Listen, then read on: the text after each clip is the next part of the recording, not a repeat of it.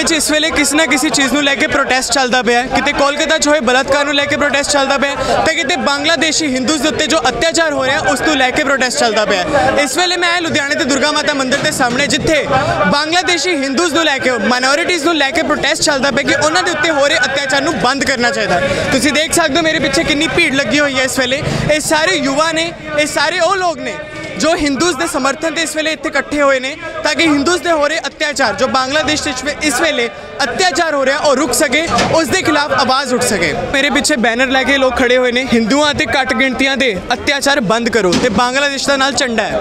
ਜਿਸ ਤਰ੍ਹਾਂ ਬੰਗਲਾਦੇਸ਼ੀ ਹਿੰਦੂਜ਼ ਦੇ ਉੱਤੇ ਅਤਿਆਚਾਰ ਹੋ ਰਿਹਾ ਉਸ ਤੋਂ ਲੈ ਕੇ ਲੋਕੀ ਇਸ ਵੇਲੇ ਉਸ ਦੇ ਵਿਰੋਧ ਦੇ ਵਿੱਚ ਇਕੱਠ ਹੋਏ ਨੇ। ਸਰ ਤੁਸੀਂ ਕੀ ਕਹਿਣਾ ਚਾਹੋਗੇ ਹਿੰਦੂਆਂ ਦੇ ਹੋ ਰਹੇ ਅਤਿਆਚਾਰ ਤੇ? ਰੁਕਣੇ ਚਾਹੀਏ ਰੁਕਣੇ ਚਾਹੀਏ। ਬਹੁਤ ਸਹਿਸ਼ੜੂ ਸਮਾਜ ਹੈ ਸਰ ਕੀ ਤੁਹਾਡਾ ਖਿਆਲ ਹੈ ਸ਼ੇਖ ਹਸੀਨਾ ਦੀ ਸਰਕਾਰ ਉੱਥੇ ਗਿਰੀ? ਹਿੰਦੂਜ਼ ਮਾਈਨੋਰਿਟੀਜ਼ ਦੇ ਉੱਤੇ ਇੰਨਾ ਅਤਿਆਚਾਰ ਹੋ ਰਿਹਾ ਮੰਦਰ ਤੋੜੇ ਜਾ ਰਹੇ ਆ ਕਿੰਨਾ ਕਰੋਸ਼ ਹੈ ਤੁਹਾਡੇ ਅੰਦਰ? ਬਹੁਤ ਜ਼ਿਆਦਾ। ਦੇਖੋ ਜੀ ਬੰਗਲਾਦੇਸ਼ ਦੇ ਵਿੱਚ ਸਾਡਾ ਭਾਰਤ ਕਾਫੀ ਸਾਥ ਦਿੰਦਾ ਰਿਹਾ ਪਹਿਲੇ। ਬਿਲਕੁਲ।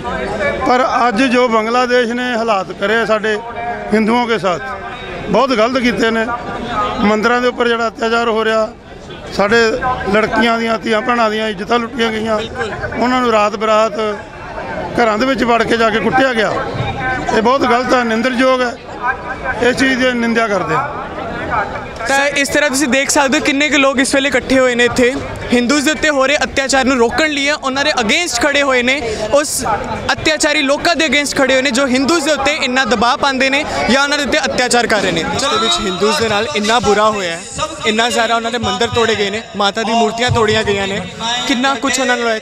ਬੇਟੀਆਂ ਦਾ ਬਲਾਤਕਾਰ ਹੋ ਰਿਹਾ ਉੱਥੇ। ਇਸ ਦੇ ਉੱਤੇ ਕਿੰਨਾ ਕੁ ਰੋਸ਼ ਹੈ ਤੁਹਾਡੇ ਦਾ ਕਿੰਨਾ ਗੁੱਸਾ ਹੈ ਤੁਹਾਨੂੰ ਇਸ ਚੀਜ਼ ਦਾ देखो रोष तो है पर इसमें कारण यही है कि हमें संगठित होना पड़ेगा जब तक हम बिखरे रहेंगे चाहे हम गिनती में ज़्यादा हैं पर जब तक हम हम छोटे छोटे टुकड़ों में बटे रहेंगे तो कोई भी हमारे साथ कोई भी प्रयास कर सकता है वो हमें लूट सकता है वो हमारा नुकसान कर सकता है हमारे गुरुदेव सर्वश्री आशुतोष महाराज जी कहते हैं किसी ने उनको प्रश्न किया कि महाराज श्री भी हमारे साथ अत्याचार होता है और हमारा अपमान होता है। तो महाराज जी कहते हैं संगठित हो जाओ।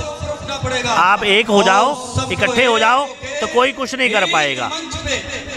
इतनी बड़ी इसका मतलब ये है कि हम बाद में सोचते हैं कि जब हमारे साथ ऐसा हो जाता है जो बुरे लोग हैं वो संसार में कम हैं और हमारी गिनती ज़्यादा है। पर बुराई एकदम संगठित हो जाती है, एकदम इकट्ठी हो जाती है। बुरे लोग एकदम इकट्ठे हो जाते हैं और बुराई को फैला देते हैं। आज ज़रूरत है कि हम अच्छे लोगों को संगठित होना चाहिए, एकदम इकट्ठे होना चाहिए तो हमें कोई भी कुछ हमारा नहीं बिगाड़ पाएगा। वहाँ पर अब इतने सारे लोग एक साथ आकर हरे कृष्णा का नारा लगाकर एक प्रदर्शन कर रहे थे। क्या ये समय आ गया कि शस्त्र उठाने चाहिए? आज यहाँ से देखो ये तो समय समय पर हमारे महापुरुष जब भी आए उन्होंने शास्त्र के साथ शस्त्र भी उठाए।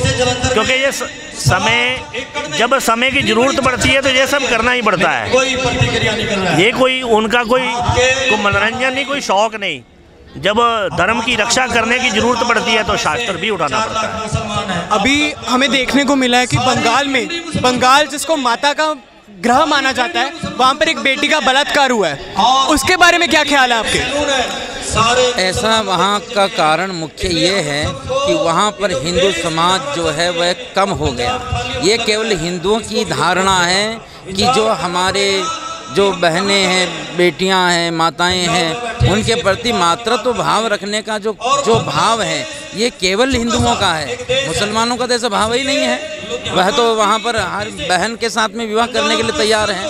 तो वहाँ पर जहाँ पर हिंदू घट जाएगा और वहाँ पर ऐसा ही दृश्य सामने आएगा। ये भारत में भी हो रहा है। यहाँ पर भी इसी प्रकार से लव जिहाद के कारण से बहुत सारी बहन बेटियों का को जो है इस ऐसा दृश्य देखना पड़ रहा है। इसीलिए सबसे बड़ी बात यह है कि हिंदू समाज को एक होने की ज़रूरत है संगठित होने की ज़रूरत है। है। वहाँ पर बांग्लादेश में एक शक्तिपीठ है। एक शक्तिपीठ है ढाकेश्वरी। ढाकेश्वरी नाम का एक शक्तिपीठ है वहाँ पर। क्या आपको लगता है कि मंदिरों को भी यहाँ भारत में शिफ्ट करना चाहिए? ऐसा तो होना नहीं चाहिए। ऐसा होना चाहिए कि ये सभी भारत के ही एक अंश ही थे।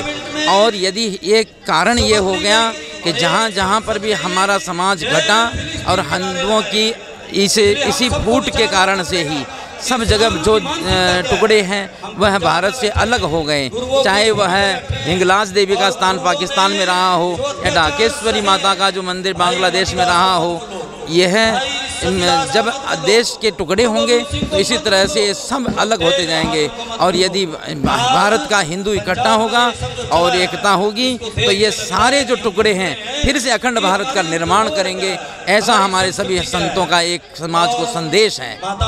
धन्यवाद सर। कि ये समय आ गया शस्त्र चक्कंदा बिल्कुल। ਜਿਹਦੀ ਸਾਡੇ ਦੇਵੀ ਦੇਵਤਾ ਦੇ ਇੱਕ ਹੱਥ 'ਚ ਗ੍ਰੰਥ ਹੈ ਤੇ ਇੱਕ ਪਾਸੇ ਸ਼ਸਤਰ ਹੈ। ਸ਼ਸਤਰ ਉਦੋਂ ਚੱਕਣ ਦੀ ਲੋੜ ਪੈਂਦੀ ਹੈ ਜਦੋਂ ਹਾਲਾਤ ਬਣਦੇ। ਹਾਲਾਤ ਐਸੇ ਬਣਦੇ ਜਾ ਰਹੇ ਨੇ, ਜੇ ਅਸੀਂ ਸੰਗਠਿਤ ਨਹੀਂ ਹੋਵਾਂਗੇ, ਕੱਟ ਜਾਵਾਂਗੇ, ਵੱਟ ਜਾਵਾਂਗੇ। ਇਸ ਲਈ ਸਾਡੇ ਬੱਚਿਆਂ ਨੂੰ, ਸਾਡੇ ਧਰਮ ਗ੍ਰੰਥਾਂ ਦੇ ਹਿਸਾਬ ਨਾਲ, ਦੇਖੋ ਸਾਡੇ ਗੁਰੂ ਮਹਾਰਾਜ ਨੇ ਕਿੱਡੀ ਪੰਜਾਬ ਲਈ ਕੁਰਬਾਨੀ ਦਿੱਤੀ। ਚਾਰੇ ਸਾਹਿਬਜ਼ਾਦਿਆਂ ਨੂੰ ਕਿੱਦਾਂ ਮੁਗਲਾਂ ਨੇ ਅਤਿਆਚਾਰ ਕੀਤਾ। ਅਸੀਂ ਉਹ ਗੱਲਾਂ ਭੁੱਲਦੇ ਜਾ ਰਹੇ ਹਾਂ। ਗੁਰੂ ਗੋਬਿੰਦ ਸਿੰਘ ਜੀ ਦੇ ਬਚਨ ਭੁੱਲਦੇ ਜਾ ਰਹੇ ਆ ਵੀ ਇਹਨਾਂ ਤੇ ਵਿਸ਼ਵਾਸ ਹੀ ਨਹੀਂ ਕਰਨਾ। ਅਸੀਂ ਫਿਰ ਵੀ ਕਰਦੇ ਜਾ ਰਹੇ ਹਾਂ ਇਹ ਗੱਲ ਯਾਦ ਰੱਖਣਾ ਇਸ ਜੇਕਰ ਅਸੀਂ ਸਨਾਤਨੀ ਹਿੰਦੂ ਜਾਂ ਜਿੰਨੇ ਵੀ ਸਾਡੇ ਨਾਲ ਚਾਹੇ ਸਿੱਖ ਕੌਮ ਹੈ ਬੁੱਧਿਸਟ ਨੇ, ਜੈਨੀ ਨੇ, ਜੇ ਅਸੀਂ ਸੰਗਠਿਤ ਨਹੀਂ ਹੋਵਾਂਗੇ ਤੇ ਅਸੀਂ ਕੱਟੇ ਜਾਵਾਂਗੇ। ਸ਼ਸਤਰ ਚੱਕਣ ਦਾ ਇਹ ਮਤਲਬ ਨਹੀਂ ਕਿਸੇ ਨਜਾਇਜ਼ ਕਰਨੀ। ਆਪਣਿਆਂ ਦੀ ਰੱਖਿਆ ਕਰਨ ਲਈ ਸਾਨੂੰ ਸ਼ਸਤਰ ਚੱਕਣ ਦੀ ਲੋੜ ਪਈ। ਕਈ ਖਬਰ ਇਦਾਂ ਦੀ ਮਿਲੀਆਂ ਨੇ ਕਿ ਲੋਕਾਂ ਨੇ ਆਪਣੇ ਬਲੀ ਦੇ ਸ਼ਸਤਰਾਂ ਦੇ ਨਾਲ ਆਪਣੀ ਰੱਖਿਆ ਕੀਤੀ ਹੈ। ਕੀ ਉਹ ਸਹੀ ਹੈ? ਰਿਪੀਟ ਕਰ ਕਈ ਲੋਕਾਂ ਨੇ ਆਪਣੇ ਬਲੀ ਦੇਣ ਦੇ ਸ਼ਸਤਰਾਂ ਦੇ ਨਾਲ ਆਪਣੀ ਰੱਖਿਆ ਕੀਤੀ ਹੈ ਉੱਥੇ। ਬਹੁਤ ਬਹੁਤ। ਮੈਂ ਤੋਂ ਪਹਿਲਾਂ ਸਟੇਜ ਤੇ ਵੀ ਬੋਲਿਆ ਡਾਕੇਸ਼ਵਰ ਦੇਵੀ ਮੇਰੇ ਕੁਝ ਨੋਨ ਨੇ। ਉਹ ਕਹਿੰਦੇ ਹਜ਼ਾਰਾਂ ਹਿੰਦੂਆਂ ਨੂੰ ਮਾਰ ਦਿੱਤਾ ਗਿਆ ਜਿੰਦਾ ਜਲਾ ਦਿੱਤਾ ਗਿਆ। ਉੱਥੇ ਦਾ ਮੀਡੀਆ ਉੱਥੇ ਦੀ ਆਰਮੀ ਹਿੰਦੂਆਂ ਨੂੰ ਮਾਰ ਰਹੀ ਹੈ ਉਹ ਦਿਖਾਇਆ ਨਹੀਂ ਜਾ ਰਿਹਾ। ਦੇਖੋ ਕੁਝ ਸੋਸ਼ਲ ਮੀਡੀਆ ਰਾਹੀਂ ਕੁਝ ਵੀਡੀਓ ਰਾਹੀਂ ਕੁਝ ਸਾਡੇ ਕੋਲ ਸੰਦੇਸ਼ ਪਹੁੰਚ ਰਹੇ ਆ। ਇਦਾਂ ਹੀ ਕੇਰਲ 'ਚ ਹੋ ਰਿਹਾ। ਇਦਾਂ ਹੀ ਸਾਡਾ ਜੰਮੂ ਕਸ਼ਮੀਰ 'ਚ ਹੋਇਆ। ਮੇਰੇ ਦੋਸਤ ਨੇ ਡਾਕਟਰ ਰਾਹੁਲ ਭਾਨ ਉਦੋਂ ਛੱਡ ਕੇ ਆਏ ਜਿਨ੍ਹਾਂ ਨਾਲ ਬੀਤਦੀ ਹੈ? ਉਹਨੂੰ ਪਤਾ ਹੁੰਦਾ ਹੈ। ਜੇਕਰ ਅਸੀਂ ਇਕੱਠੇ ਨਹੀਂ ਹੋਵਾਂ ਬਾਰ-ਬਾਰ ਕਹਿਣਾ ਇਕੱਠੇ ਜਾਵਾਂਗੇ। ਸੰਗਠਿਤ ਹੋਣ ਦੀ ਲੋੜ ਕੀ ਮੰਗ ਕਰਦੇ ਹੋ ਤੁਸੀਂ ਇਸ ਵੇਲੇ? ਸਰਕਾਰ ਤੋਂ ਕੀ ਮੰਗ ਹੈ ਤੁਹਾਡੀ? ਸਾਡੀ ਪਹਿਲੀ ਮੰਗ ਸਾਡੇ ਉੱਥੇ ਬੰਗਲਾਦੇਸ਼ 'ਚ ਜਿਹੜੇ ਸਾਡੇ ਘੱਟ ਗਿਣਤੀ ਦੇ ਵਿੱਚ ਚਾਹੇ ਉਹ ਹਿੰਦੂ ਨੇ ਚਾਹੇ ਸਿੱਖ ਨੇ ਚਾਹੇ ਬੁੱਧਿਸਟ ਨੇ ਚਾਹੇ ਜੈਨੀ ਨੇ ਉਹਨਾਂ ਦੀ ਰੱਖਿਆ ਲਈ ਕੋਈ ਠੋਸ ਕਦਮ ਉਠਾਇਆ ਜਾਵੇ।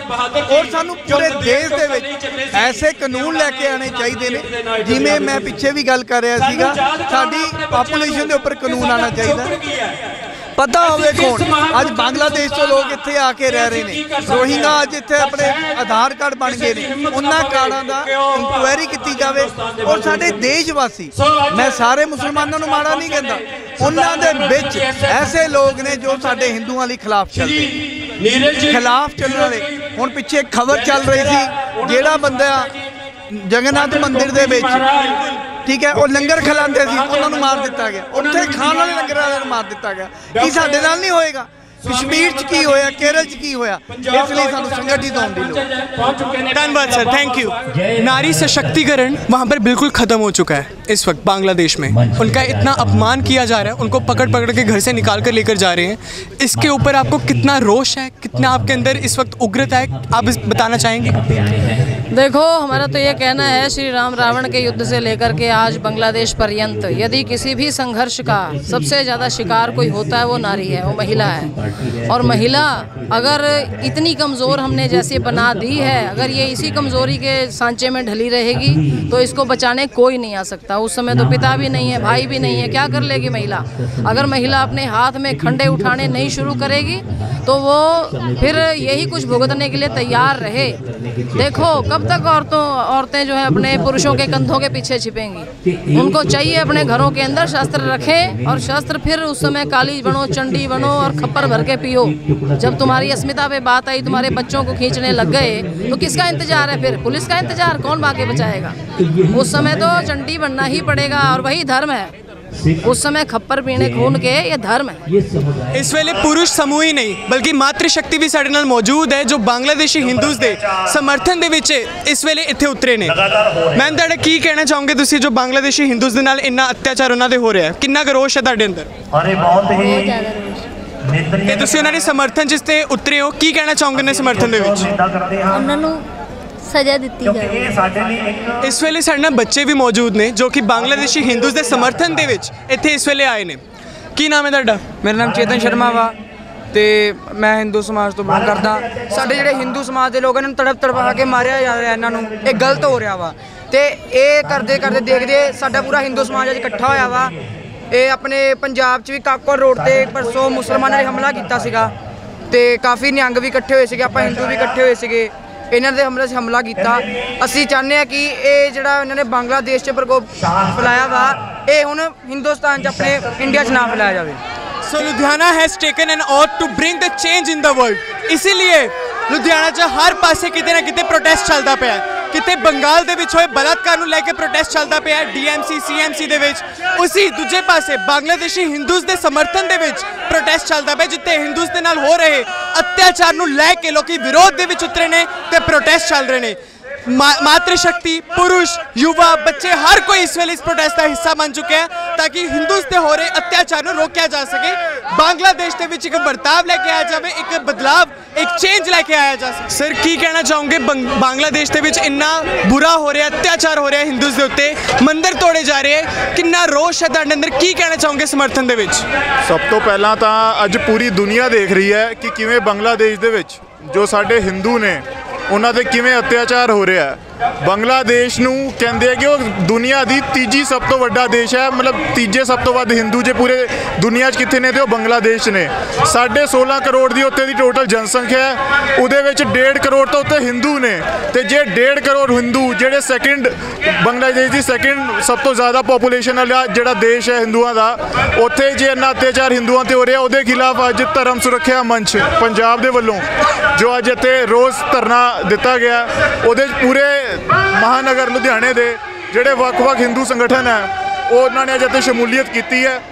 ਤੇ ਜਿੱਦਾਂ ਵੀ ਅੱਜ ਆਪਾਂ ਦੇਖ ਰਹੇ ਹਾਂ ਕਿ ਇੰਨਾ ਠਾਠਾ ਮਾਰਦਾ ਇਕੱਠ ਪੂਰੇ ਹਿੰਦੂ ਜਿਹੜੇ ਅੱਜ ਪੂਰੇ ਦੇ- ਸ਼ਹਿਰ ਦੇ ਵਿੱਚ ਇਕੱਠੇ ਹੋਏ ਆ, ਉਹ ਇੱਕੋ ਇੱਕ ਸੰਦੇਸ਼ ਜਿਹੜਾ ਪੂਰੇ ਦੇਸ਼ 'ਚ ਜਾ ਰਿਹਾ ਵੀ ਕਿਵੇਂ ਜਦੋਂ ਹਿੰਦੂ ਇਕੱਠਾ ਹੋਏਗਾ ਤੇ ਜਿਹੜੇ ਜਿਹੜੇ ਇਦਾਂ ਦੇ ਕੋਈ ਤੱਤਵ ਹੈਗੇ ਆ ਜਿਹੜੇ ਬੰਗਲਾਦੇਸ਼ ਤੇ ਹੋਰ ਦੇਸ਼ਾਂ 'ਚ ਜਿਹੜੀ ਘੱਟ ਗਿਣਤੀਆਂ ਦੇ ਉੱਤੇ ਅਤਿਆਚਾਰ ਕਰਦੇ ਆ ਉਹਨਾਂ ਤੇ ਇਹ ਜਿਹੜਾ ਠਾਠਾ ਮਾਰਦਾ ਇਕੱਠ ਹੈ ਉਹਨੂੰ ਇੱਕ ਪੁਰਜੋਰ ਜਵਾਬ ਦੇਣ 'ਚ ਅੱਜ ਸਫਲ ਹੋ ਰਿਹਾ ਸਰ ਸ਼ੇਖ ਹਸੀਨਾ ਦੀ ਸਰਕਾਰ ਦੇ ਗਿਰਨ ਤੋਂ ਬਾਅਦ ਸ਼ੇਖ ਹਸੀਨਾ ਭਾਰਤ ਦੀ ਸ਼ਰਨ ਦੇ ਵਿੱਚ ਆਂਦੀ ਹੈ ਤੇ ਉੱਥੇ ਉਹਨਾਂ ਦੇ ਲੋਕ ਹੀ ਹਿੰਦੂਸ ਦੇ ਉੱਤੇ ਇੰਨਾ ਅਤਿਆਚਾਰ ਕਰ ਰਹੇ ਨੇ ਕਿ ਤੁਹਾਨੂੰ ਕੀ ਕਹਿਣਾ ਚਾਹੋਗੇ ਇਸ ਗੱਲ ਤੇ मैं आज एक आपको कविता सुनाना चाहूँगा कभी थे अकेले, कभी थे अकेले, हुए आज इतने नहीं, तब डरे तो भला अब डरेंगे।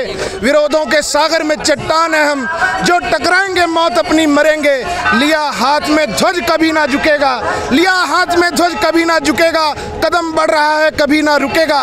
विरोधों के सागर में चट्टान है हम, जो टकराएँगे मौत अपनी मरेंगे। लिया हाथ में ध्वज कभी ना झुकेगा, कदम बढ़ रहा है कभी ना रुकेगा।